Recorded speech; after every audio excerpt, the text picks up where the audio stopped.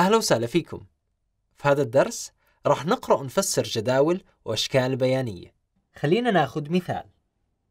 الشكل المجاور يمثل العمولة التي حصل عليها كل من أحمد وعمار وأمل في الشهور الأربعة الأولى من السنة بالدينار.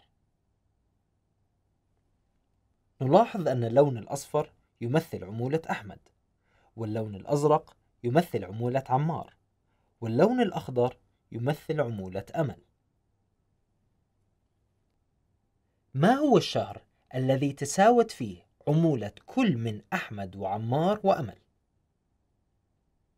شهر ثلاث ما هو الشهر الذي حصلت فيه أمل على عمولة أكثر من أحمد وعمار؟ شهر أربعة ما هو الشهر الذي كانت فيه عمولة أحمد أقل ما يمكن؟ شهر واحد سجل عمار درجات الحرارة اليومية في أول أسبوعين من شهر شباط وأنشأ رسم بياني كما يلي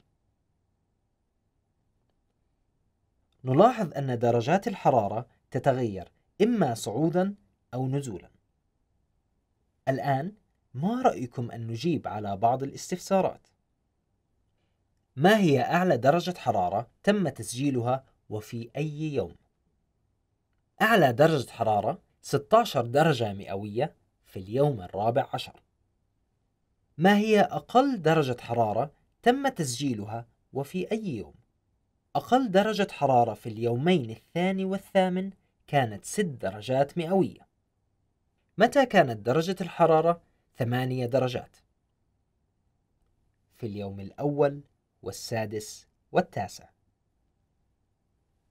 في مسابقة تحدي القراءة العربية نظمت تمثيل التكرار الآتي بعض الطلبة المشاركين وعدد المدارس ما عدد الطلبة المشاركين؟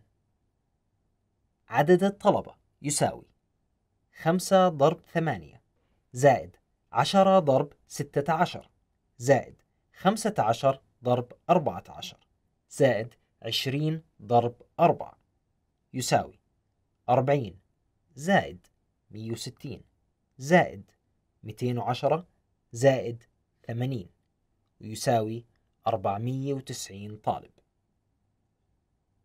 ما عدد المدارس التي شارك بها أكبر عدد من الطلبة؟ عدد المدارس يساوي أربعة عشر مدرسة لأن خمسة عشر ضرب أربعة عشر يساوي 210 طلاب.